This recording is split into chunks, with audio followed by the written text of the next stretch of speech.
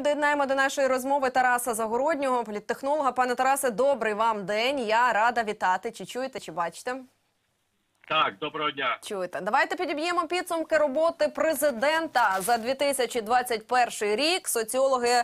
ем, е, про рейтинги да, трохи пізніше соціологічні поговоримо. Але в порталі слово і діло порахували, що президент е, 92 обіцянки виконав. Ви яку оцінку ставите президенту за його роботу у році, що минає?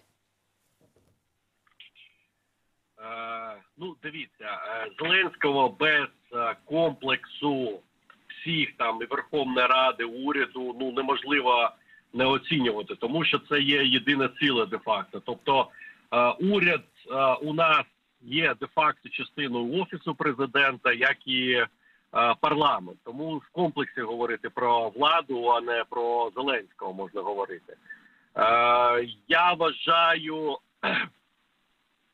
Тут головна оцінка, чи втримав Зеленський ті позиції, які хотів втримати. Ну можна сказати так, ну не без страт. Тобто там рейтинг е, е, не, не обвалився, як е, е, сподівалася опозиція, але він має негативний тренд. Так, в першу чергу по його обіцянках, те, що він робить.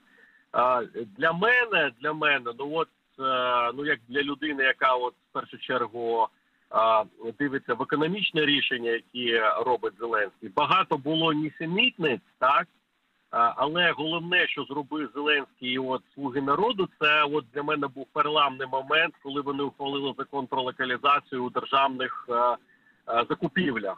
Так, вона трохи ну нещодавно був цей закон, коли проголосували слуги народу. Е, Ну там всі проголосували ОПЗЖ, Петро Олексійовича фракція, фракція Батьківщини Тимошенко проголосувала. Але головне, що зробили, це переламний момент взагалі в отриманні в захисту своїх економічних національних інтересів.